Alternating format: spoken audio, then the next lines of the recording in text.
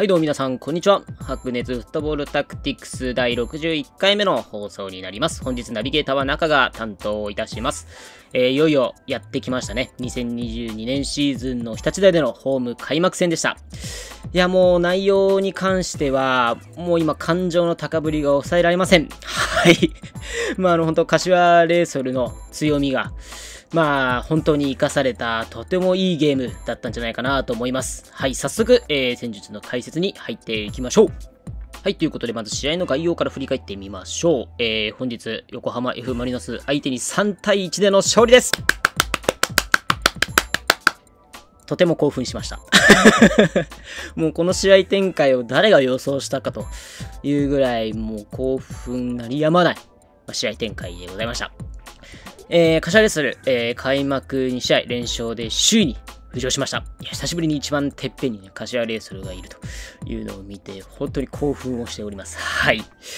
一応中身、えー、簡単に、えー、あと4つ書いています。もう1個目はもう皆さん感染されてた方、皆さん感じたことだと思います。もう効果的なプレッシングによって、もう相手のミスを誘発しました。まあもちろんあの、得点を取ったシーンをね、あの、見ていただければわかると思いますし、またあの、今回、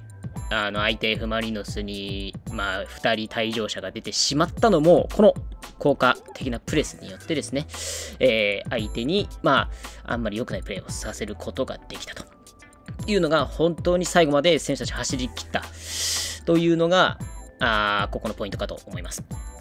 で、もう一個同じようなことを言うんですけども、これ昨シーズンと比較して個人的にすごい思ったのが、迷いがないなって思いました。もう、あの、ルーズなボールがあった時とかに、まあ、あの、前線の選手、終盤の選手が迷いなくそれをかっさらいに行こうと。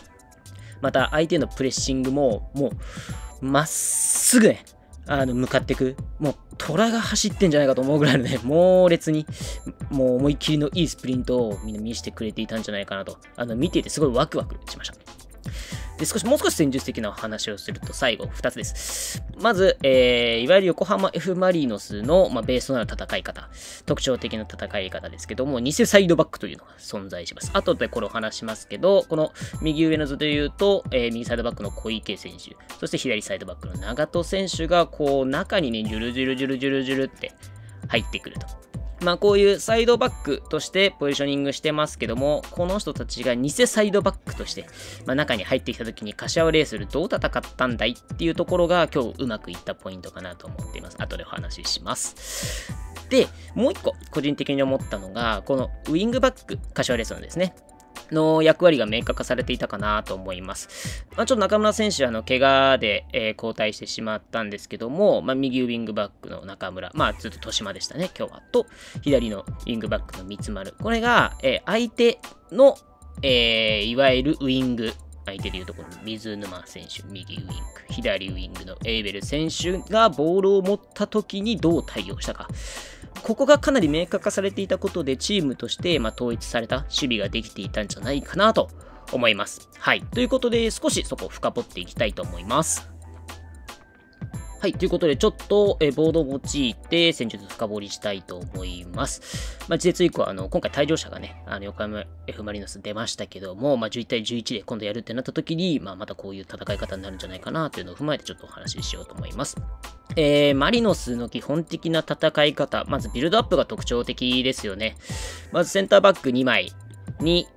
えー、キーパーがですね、合わさって、えー、ここの3枚で、まあ、ボール回しをしますと。そうすると、まあ、相手がこう、2トップだと、結局、ここで数的、えー、優位をね、あの、作られてしまうので、まあ、ここの2枚のプレッシングっていうのが無効化されてしまいますと。なんで、数的優位でビルドアップがまず最初できますと。いうのが、まず特徴ですね。で、かつ、もっと特徴を挙げると、相手のこのウィングバックが、もうめちゃくちゃサイド開いてるんですよね。もうめちゃくちゃに開いてます。で、この開いたところ、すると、ここにスペースが空きますよね。はい。右で言うと、ここ、ちょっと汚くて恐縮なんですけど、左で言うと、ここのスペースが空きます。で、えー、ここをどうするかというと、マリノスは、まあ、ここで数的優位を作りながら、前線に運んだとき、まあ、例えばじゃあ、左のウィングにボールが入ったときにどうするかというと、この、いわゆる偽サイドバック。まあ、あの、ポジション上サイドバックなんですけど、偽サイドバック、えー、いうゆえんがですね、ここにスルスルスルスルスルと、この中に入ってくるんですよね。はい。で、そこの対応を、まあ、他のチーム苦戦をしてですね、数的優位を、えー、作られて攻められるっていうのがよくあるパターンなんですけども、えー、今回、柏レイソルがそこにどう対応したかというと、このウィングバックですね、にボールが入った瞬間に、右サイドで言うと、えー、中村また豊島ですね。左で言うと三つ丸。ここが瞬時にプレスに行きます。まあ、縦を潰しながらですね、瞬時にプレスに行って、まあ、ボールを奪いに行こうという素振りを見せます。で、相手のこの偽サイドバックがじゃあ中に入ってきたときどうするか。この時に、えー、柏レースで言うと、ここですね、サビオと川口がうまく対応していました。何かというと、まずこの、まあ、ボランチ、またミッドフィルダーですね、インサイドハーフに位置する人がまず対応に行きます。そうすると、今度は逆サイドの方がどんどん、まあ、あの、マークが空いてしまいますので、そこは C 橋と山田が、まあ、バランスを取りながらスライドをしてきます。まあ、数的優位を作られつつも、中央のスペースですね。作られつつも、まあ、そこは、まあ、スペースを埋めることによって、まあ、相手のパスコースを消して、気持ちよく攻撃をさせていなかったと。そうすると、いつものパターンだと、そこからこの西サイバーがズルズルズルと、まあ、こちらの中に入ってきますと。いうのを今日はどう対応したかというと、高い位置はインサイドハーフが当たる。もっと中に入ってきたときは、ちのセンターバックの1枚が当たる。ここで、まあ、あの、1対1、1対1の対応で、えー、ストップをかけていたと。なので、まあ、この偽サイドバックっていうのがもちろんこの裏のスペースに行ってとか、形を作られつつも、まあ、数的不利な状況は作られなかったので、今回、まあ、ここをプレッシングを激しくいく、あたふかつかせる。そして偽サイドバックがここから中に入っていた時に、いわゆるここで言うと川口サビオ。まあセンターバックとインサイドハーフがそこをうまくスペースを潰しに行く。で、かつ、残った、まあ、ボランチインサイドハーフの選手たちが、えー、スペースをケアしながらスライドをさせていくて守っていると。いうのが今回とてもうまくいっていたんじゃないかなと個人的に思っています。まずこれが守備で柏レイソルが、お、今日いいなって思った点でした。はい、続けて少し柏レイソルの攻撃の話もすると、相手のこの偽サイドバックと言われる、えー、ポジションの人は基本的にこう高い位置を、まあ、中に入って取り続けますと。いう時に、えー、まあ基本相手の横浜 F マリノスのディフェンダーはこの畑中とエドワルドの2枚です。はい。で、ここで皆さん、あの画面を見ればお分かりになると思うんですけども、じゃあ、柏レスン攻撃になりましたという時に空いてるスペースがあります。そこがどこかというと、まさにここのスペースですね。まあ、このセンターバック、相手センターバックの裏の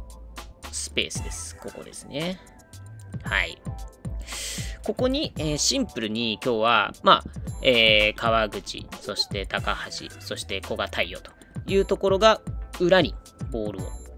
ポーンと放ります。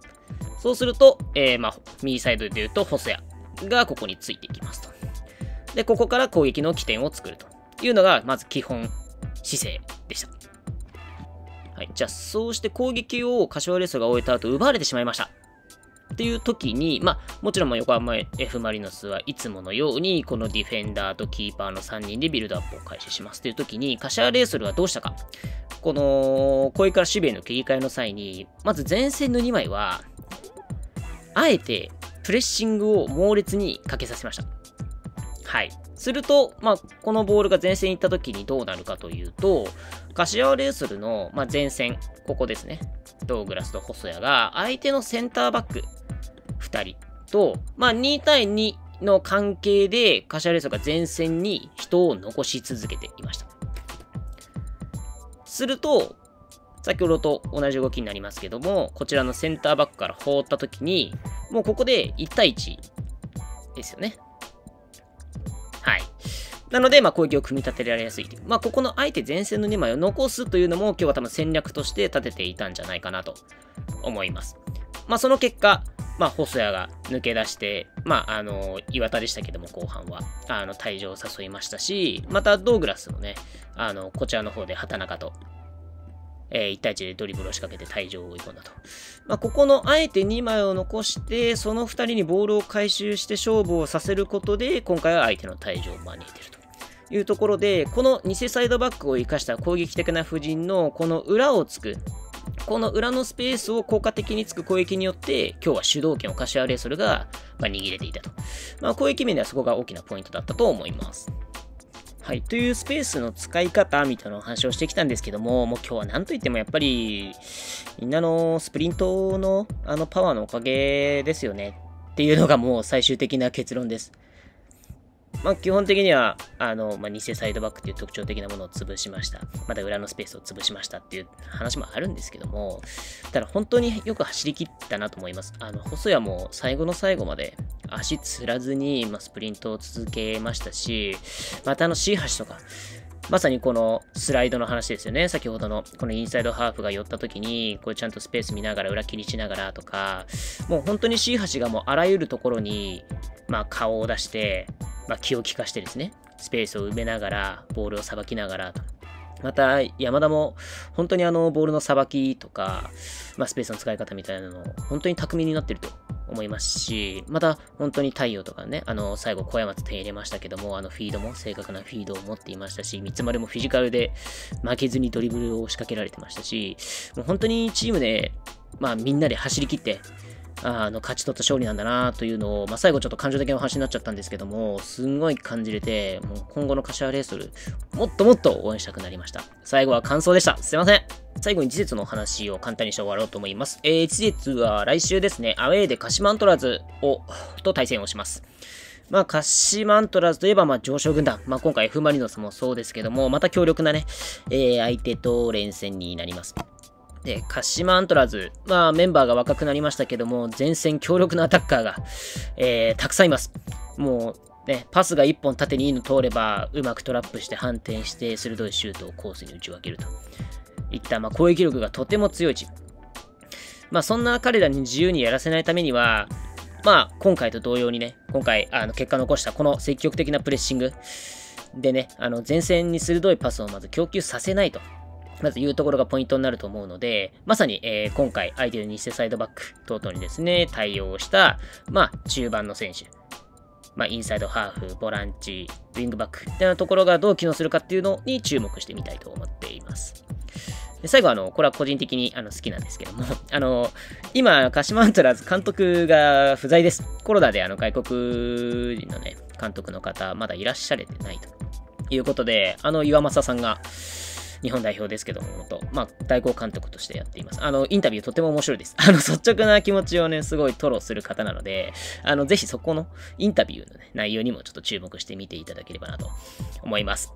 はい。ということで、えー、また次節もね、あの、強力な相手が続きますけども、また引き続き柏レスが、この